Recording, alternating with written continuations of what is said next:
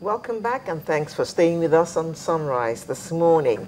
We're going to look at the 20th Nigerian Economic Summit next. And uh, the summit group is Nigeria's leading think tank, think tank on economic policy and private sector development. And the summit will be holding from the 18th to the 20th of March in Abuja. The focus this year is transforming education through partnerships for global competitiveness.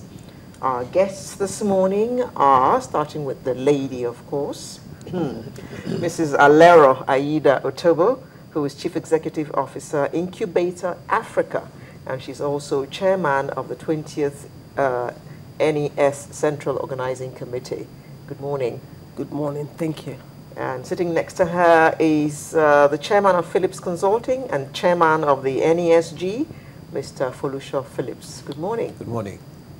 And on my left is the C is CEO, Verdant Zeal Marketing and Communications Limited, and he's also the chairman of the Communications Subcommittee. Good Thank morning. you for having me. Thank you very much for Thank coming. you. Now, the NESG. Hmm.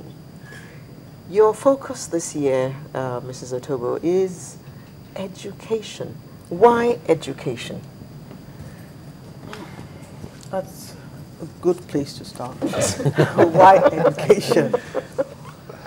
Many will answer th- this question by making one statement that education is still in a state of crisis in many parts of Nigeria. We have significant numbers of children out of school. We have statistics saying between 8 and 10 million of our children are out of school. And that's the largest number in the entire world. So there's one thing that we are number one in, and that's um, out of school children. We also have a serious situation with the quality of um, education in our, in our public schools, the learning outcomes. Several studies have been done by international development partners that confirm that a significant number of our children, when they leave, cannot read or write. And worse still, we have